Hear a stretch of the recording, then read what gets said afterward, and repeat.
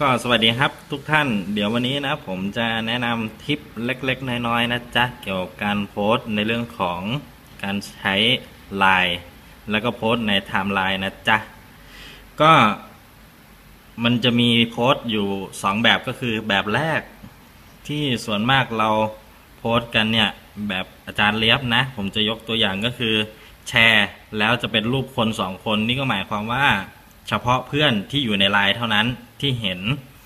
กับแบบที่สองนะครับ ที่จะแนะนำก็คือแชร์แบบสาธารณะ แบบนี้จะได้ผลดีกว่า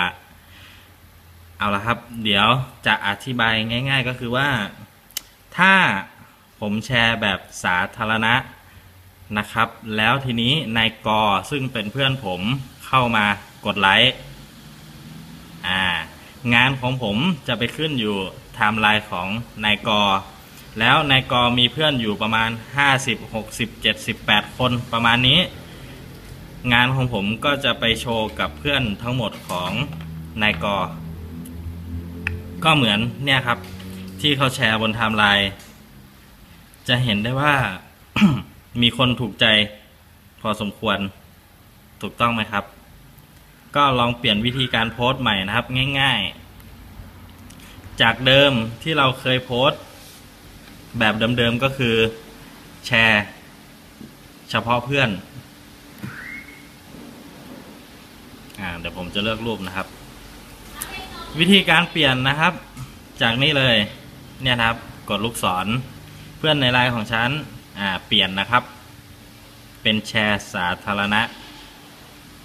ชัดเจนนะครับ หลังจากนั้นกดถูกครับ ก็ใส่ข้อความของท่านลงไป แล้วก็กดโพสต์นี่นะครับ งานจะเป็นรูปโลกขึ้น หากมีใครเข้ามากดถูกใจกดสติกเกอร์ต่างๆ นะครับ งานของผมจะขึ้นไปโชว์อยู่บนไทม์ไลน์ของคนที่กด แล้วโอกาสที่เราจะได้ กระจายงานหรือโอกาสที่เราจะได้โฆษณาก็จะสูงขึ้น ดีกว่าที่เราจะแชร์เฉพาะคนในกลุ่มไลน์โอเคนะครับ ก็วันนี้ฝากไว้เล็ก ๆ น้อย ๆ นะจ๊ะ ก็ไปลองทำกันดูแล้วกัน แล้วพบกันในวิดีโอถัดไปครับ